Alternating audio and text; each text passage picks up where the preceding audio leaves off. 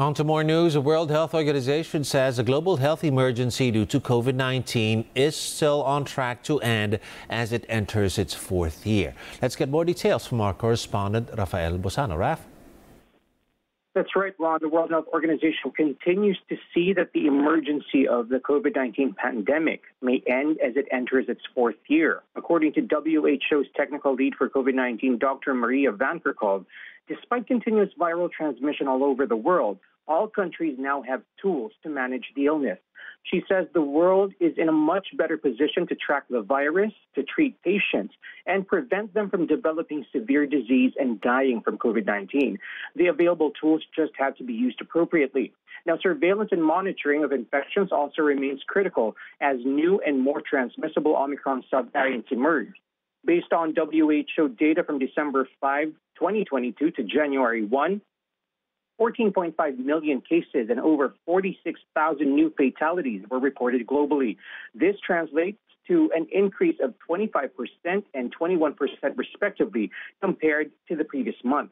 Meanwhile, another official, Dr. Mike Ryan, says that SARS-CoV-2 remain, remain, uh, remains to be in circulation, uh, but they are hopeful that it will be settling down into a pattern. While the virus may circulate throughout the year, the transmission may tend to be more intense during colder seasons when more people spend more time together indoors. The World Body also reiterates the importance of vaccination and boosters, particularly among the, the most vulnerable populations. And while masking is now optional in most parts of the world, including the Philippines, Dr. Van Kerkhove says it remains to be one of the hallmarks the COVID 19 response. The recommendation is not for everyone to wear a mask everywhere at all times. Rather, it's about being conscious, conscious of the setting one person is in, especially in indoor settings where the ventilation is poor or when you're in a crowded space and want to protect not only yourself, but the people you go home to.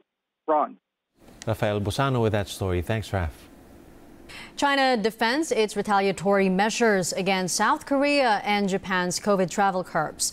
Chinese state media says the decision is a reasonable move to protect the country's interests. It also accused some countries of hyping up China's new outbreak by tightening their travel restrictions. The Japanese government said it has lodged a protest against China over the suspension of visa issuance to its citizens. The Philippine Budget Department says government workers will receive a higher salary starting this month. The latest increase is the fourth and last tranche of the mandated hikes under the Salary Standardization Law of 2019. Budget Secretary Amenah Pangandaman hopes the salary hike will help employees bear the brunt of inflation. President Marcos also directed the agency to conduct a study on how the salaries can remain competitive compared to those working in the private sector. Progressive House lawmakers seek the immediate suspension of a looming water rate, hike in Metro Manila. Our correspondent Vivienne Gulla now joins us on the line for more details on that. Go ahead, Viv. Hi, Ron. Lawmakers from the Makabayan bloc are seeking for the immediate suspension of Manila Water and Maynilad's water rate hike implementation scheduled to begin this January. Gabriela, Party Representative Arlene Brosas, ACT Teachers party list representative France Castro and Kabataan party list representative Raul Manuel filed House Joint Resolution 17 for both houses of Congress to mandate the suspension, citing high prices of goods and basic services.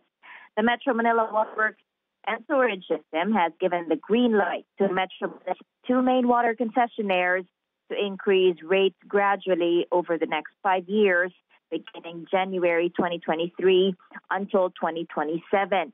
This month, Manila water rates will rise by 8 pesos and 4 centavos per cubic meter, while Maynilad will implement a rate increase of 3 pesos and 29 centavos per cubic meter. The resolution explained that as a result of the all time high inflation rate, the National Capital Region's real wage is estimated to be at 490 pesos only.